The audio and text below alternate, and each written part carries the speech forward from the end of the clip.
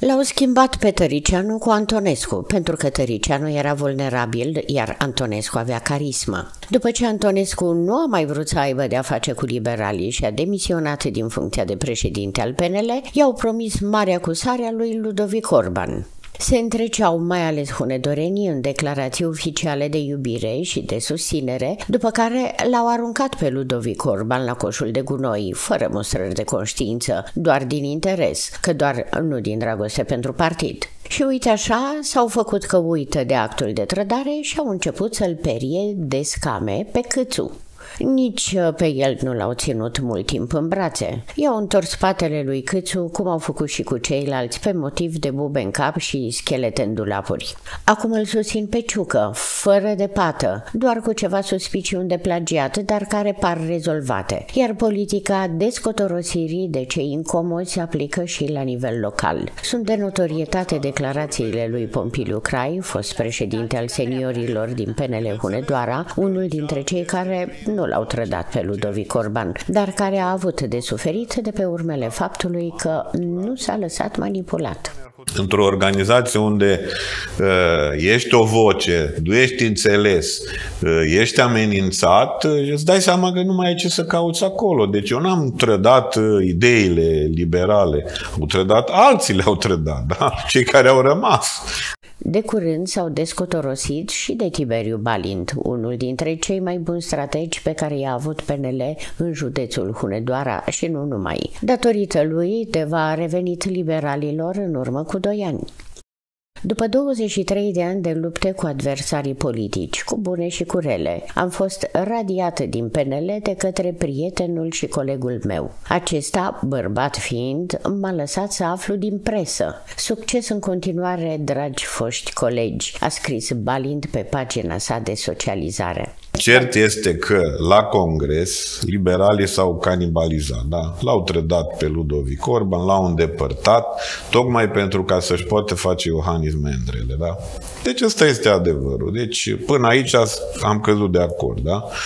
De aici încolo, S-a, s-a mers din greșeală în greșeală. Da? Efectul da? bulgărului de Ei, l-ai adus pe Câțu, l-ai făcut președinte, l-ai făcut premier, ai băgat uh, PSD-ul în casă. În momentul, în momentul în care ai băgat PSD-ul în casă, ești gata. Se întâmplă a doua oară lucrul ăsta. Deci nu că critic PSD-ul.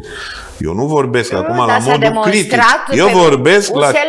Eu vorbesc exact realitatea. Asta s-a întâmplat. PSD-ul își urmează politica lor și le iasă. Uite că le tot iasă. Le iasă. Și le iese ajuns, acum, dar minte când vor avea și premier. ajuns astăzi PNL-ul? A ajuns sub bocan cu PSD-ului.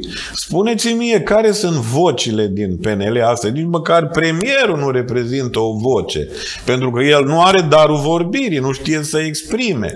Cine este liderul în momentul de față, adevăratul lider al Uh, PNL-ului. Iohannis, nu mai e Iohannis, uh, deja e în spatele cortine, azi, mâine, nu-l mai bagă nimeni în seamă pentru că el la ultimul își caută de lucru, își caută servicii. Da, da, da. Asta se întâmplă în realitate. Și atunci ce vorbim? Lucrurile sunt grave atât la nivel național, cât și la nivel local. Deci sunt lideri de partid local care au fost perdanți în alegeri. Exemplu și aici, în județ, da? Și care sunt tot pe cai mari, tot în frunte, lideri care și-au trădat propriul binefăcători, care sunt, bine mersi, în vârful piramidei. Deci ce politică e asta? Ce politică este asta? Ce clasă politică avem? În afară de senatorul Vasilică Potecă, trecut și el pe lista neagră a celor incomozi. Cine a mai susținut-o pe Georgeta Tomuța, dat afară de la conducerea GOFM Hunedoara? Nimeni.